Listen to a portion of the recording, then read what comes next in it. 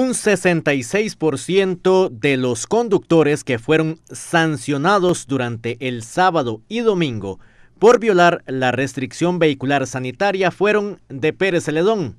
La medida regresó este fin de semana. En el momento en la región tuvimos un total de 54 boletas eh, de multa por lo que es el tema del respeto a la restricción vehicular sanitaria.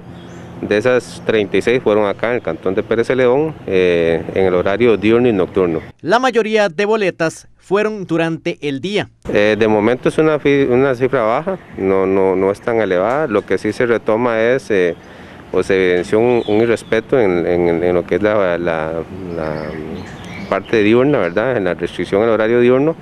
Sí hubo un aumento significativo en la cantidad de boletas, hubo un mayor irrespeto por parte de los conductores. Y en la nocturna sí se mantuvo una situación baja, pero más que todo fue, la mayoría fueron la parte diurna.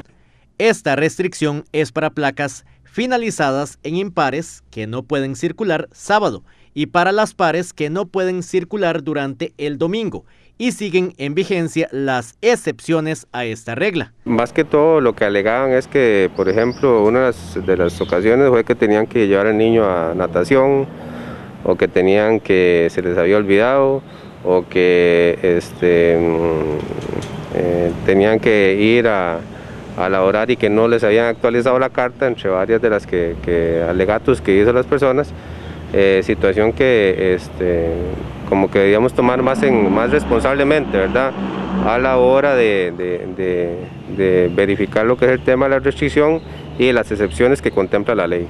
Durante lunes, martes, miércoles, jueves y viernes, la restricción es total, pero de 11 de la noche a 5 de la mañana.